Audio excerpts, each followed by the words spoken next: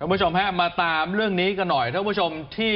เล่นออนไลน์นะฮะแล้วก็ชอบลงทุนเนี่ยเคยเห็นยิงแอดใน Facebook ไหมฮะว่าลงทุนทองคำลงทุนกับตลาดหุ้นตลาดหลักทรัพย์ แล้วการันตีผลตอบแทน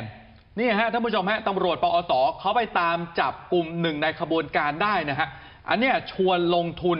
ค้าทองนะครับ แล้วก็ผู้ต้องหาเป็นคนลาวด้วย นายสมนึกอายุ 27 ปีสัญชาติลาวนะครับ ผู้ต้องหาตามหมายจับศาลอาญาในหลายฐานความผิดเลยครับ ถูกตำรวจกองบังคับการปราบปรามการกระทำความผิดเกี่ยวกับอาชญากรรมทางเศรษฐกิจปอสนะฮะติดตามจับกลุ่มตัวได้บริเวณจุดตรวจบุคคล และพาหนะที่สะพานมิตรภาพไทยลาวแห่งที่หนึ่งที่หนองคายนะครับก็สืบเนื่องมาจากที่ตำรวจครับเขากวาดล้างอาชญากรรมเกี่ยวกับหลอกลงทุนออนไลน์ แล้วก็พวกแก๊งคอลเซนเตอร์นะฮะตามปฏิบัติการ Anti Online Scam แล้วก็มีการจับกลุ่มผู้ต้องหาที่มีพฤติการดังกล่าว จากการสืบสวนเนี่ยนะครับท่านผู้ชมฮะนายสมนึกชาวลาวคนนี้เนี่ยเป็นผู้ต้องหาตามรายงานข่าวของตำรวจเนี่ยบอกว่าคนนี้เป็นตัวการสำคัญด้วยนะครับ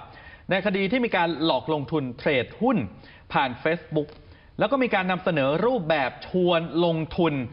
ในทรัพย์สินต่างๆนะครับท่านผู้ชมฮะแล้วก็โฆษณายิงแอดไปเลยบอกว่าลงทุนอันนี้ก็จะการันตีผลตอบแทนสูง ภายในระยะเวลา 5-20 นาทีด้วยนะครับ กลุ่มคนร้ายเนี่ยเขามีการแอบอ้าง แล้วก็ปลอมเพจของบริษัททองชื่อดังครับ ก็เลยทำให้ประชาชนทั่วไปเนี่ยเขาหลงเชื่อนะครับ คือบางเพจนี่จะทำเหมือนมากนะครับท่านผู้ชมฮะไม่ใช่แค่มีแอดยิงโฆษณาว่าลงทุนทองคำห้าพันหนึ่งหมื่นแล้วการันตีผลตอบแทนเท่าไหร่เท่าไหร่ แต่ถ้าแบบเอ้ยเราสนใจ เดี๋ยวนี้เวลาคนสนใจก็ต้องกดเข้าไปดูในเพจใช่ไหมครับ ว่าในเพจเนี่ย เอ้ยเพจจริงเพจปลอม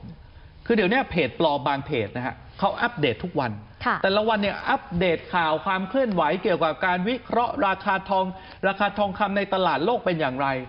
คือมันดูเหมือนมากอะครับท่านผู้ชมคนก็ตกเป็นเหยื่อแนวนี้กันเยอะนะครับท่านผู้ชม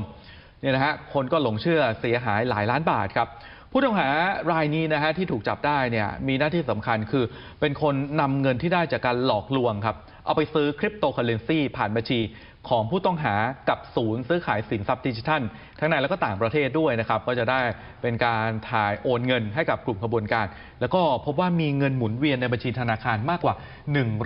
180 ล้านบาทเลยนะครับ